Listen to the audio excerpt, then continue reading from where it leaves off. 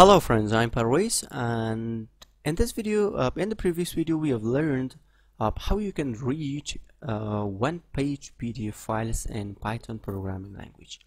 So this is from the previous video, uh, we have used uh, PyPDF2 package or library. Now in this video I want to show you how you can read multiple PDF uh, documents that has multiple page pages in Python programming language now I have created a new Python file and also I have this uh, PDF file uh, uh, there this is the first page and I have this is uh, the second page. Now also I have copied this PDF file in my uh, working directory and this is file uh, 3.pdf now now we are going to start our coding.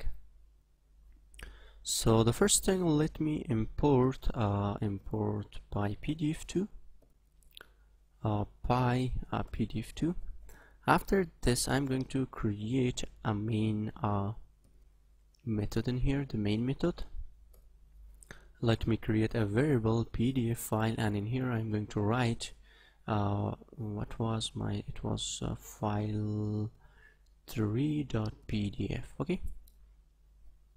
After this let me uh, create let me read uh, create a uh, PDF file reader so PDF uh, read and PyPDF2.pdf PDF file reader and I want to read my uh, PDF file.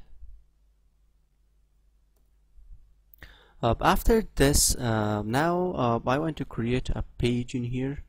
So page PDF read uh, dot uh, get page and I want the i. Let me give it i in here. So now after this uh, okay now sorry because now let me remove this. Uh, in here I need to create a for uh, loop so for i in range and I'm going to PDF read dot get num page get num page. Okay. Now in here we need to create a page pdf read dot get page and I want the i, I page. Okay. Uh, after this I'm going to print the number of page. So page number and uh, we need to convert this to string because it is uh, uh, integer. Now uh, let me give one plus pdf read dot get page number. Dot get page number and give your page in here okay? After this we need to uh, uh, convert our uh, PDF to the to text. So let me create a page content. Page content uh, page uh, dot extract extract text. And at the end we need to print our this page content. Okay? Now this is the complete code and let me just in here uh, f underscore underscore uh, name. Underscore main.